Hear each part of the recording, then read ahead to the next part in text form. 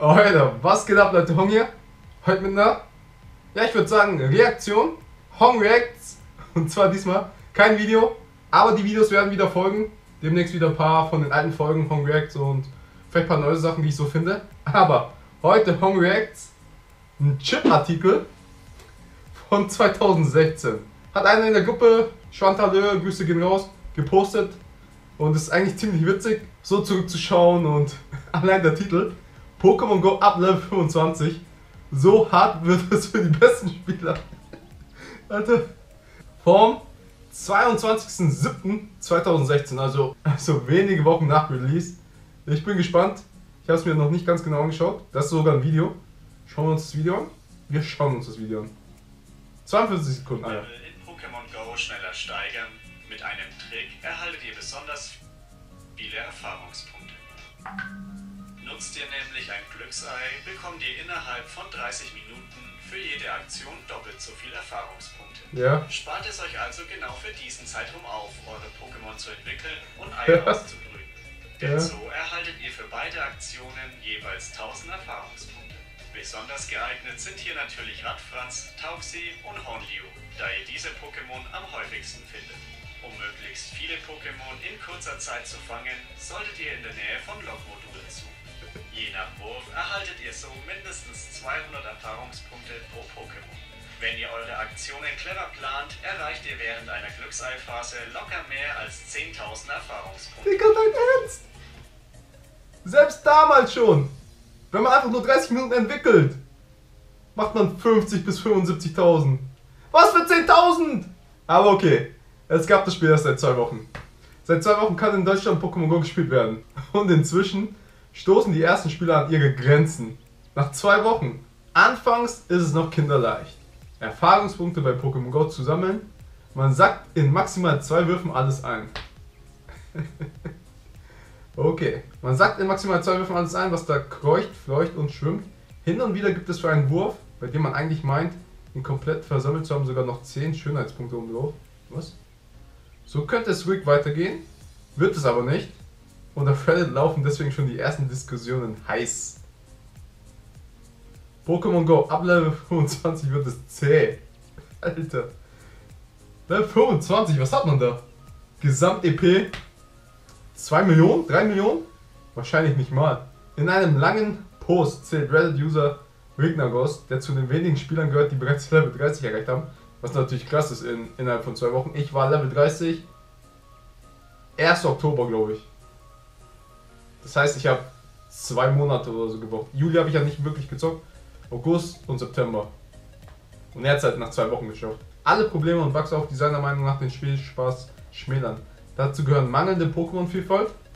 War halt damals echt so. Die seltsamen Kartenmaßstäbe und das Problem, die angezeigten Standorte mancher Pokémon zu entdecken. Oh ja, das alte System.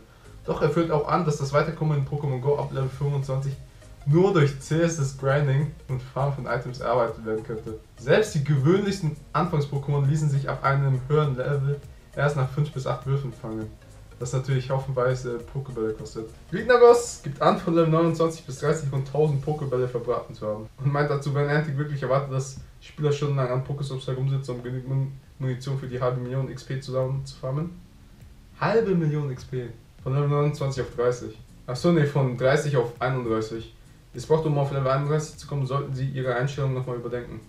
Zudem würden starke Pokémon am Anfang nicht mehr Erfahrungspunkte bringen als gewöhnliche, was das Level ebenfalls erschwert. Alter, war das damals echt so schwer?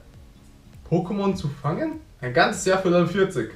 Auch andere Spieler beklagen sich schon mal voraus ein, dass es in den Leveln bis 40 noch viel länger dauern könnte, Fortschritte zu erzielen. Ein Spieler namens Click Fox hat sich die Mühe gemacht, in einer Google Docs Tabelle hochzurechnen, was dieses zähe Vorankommen für die noch nicht erspielten Höchstlevel bedeutet. Wenn man fleißig draußen rumläuft und täglich 100.000 Punkte erzielt. 100.000 Punkte. Krass, der Unterschied, Mann. Alter, 100.000 Punkte ist. Alter, ist halt nichts jetzt. Damals war es halt echt eine Menge, aber jetzt ist das halt so gar nichts. Bräuchte es eine gute Woche? Achso, um Level 32 zu erreichen, ja. Einen Monat für Level 36? Etwa ein Jahr für das derzeitige Höchstlevel 40. Alter, manche sind heute, nach drei Jahren immer noch nicht Level 40.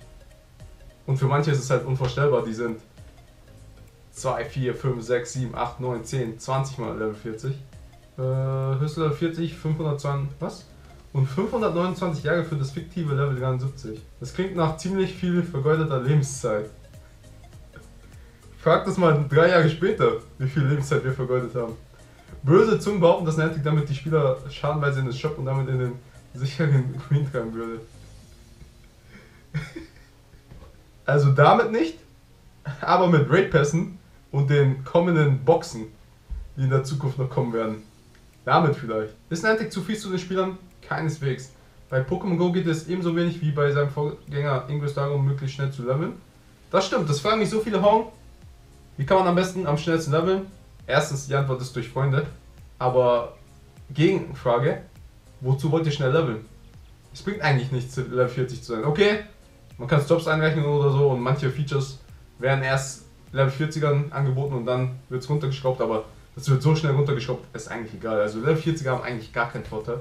Sondern sich für das Spiel in der Gruppe vorzubereiten. Das mühsame Einsammeln von Gegenständen, der lange zeitaufwendige Weg zum Höchstlevel und die endlosen Laufkilometer dienen dem Zweck, dass die Spieler Geduld entwickeln um, und Frustration zu ertragen lernen. Im Übrigen, mit Leuten, denen man nicht begegnet, kann man auch keine Gruppenspiele bestreiten. Und selbst wenn es blöd und abgedroschen klingt, gemeinsames Leid verbindet. Was? Würde Niantic jetzt damit anfangen, das Spielprinzip zu vereinfachen und damit zahllose, hochgepowerte Einzelkämpfer zu generieren, wäre aus Pokémon Go binnen kürzester Zeit die Luft raus. Wegen Langeweile. Und trotzdem haben sie es so leicht gemacht, EP zu bekommen. Und trotzdem beschweren sich immer noch Leute, dass sie nicht Level 40 sind. Und trotzdem ist die Luft irgendwie noch nicht raus. Stellt euch mal vor, was gerade geschrieben wurde, wie lange es dauert, EP zu machen. Und wir machen jetzt an dem C-Day, indem wir einfach ein Glückseil zünden und Geschenke aufmachen. Mehrere Millionen in einer halben Stunde. Was für eine halbe Stunde? In den ersten 5 bis 10 Minuten. Wie die Zeit sich verändert hat. Ja, lustiger Artikel. Ich finde es immer wieder lustig, den Vergleich von jetzt und früher. Okay, das Spiel war da zwei Wochen alt, also der Vergleich ist extrem. Zwei Wochen und jetzt drei Jahre. Aber wie sie damals rumgeholt haben, dass man zu lange, zu lange braucht für EP und es zu schwer ist, Pokémon zu fangen und zu schwer ist, EP zu farmen. Echt unvorstellbar, Mann. Auf jeden Fall, das war's von mir, Leute. Checkt die Videos von gestern ab, heute Abend Livestream und Shoutout an Pokémon Go 2016. Das war's von mir, ihr wisst Bescheid, wie man liken, subscriben, kommentieren. Checkt die Videos ab, folgt mir auf Instagram, Facebook, Twitter. Checkt den Shop ab. Vergesst nicht, Pokémon ist serious Business.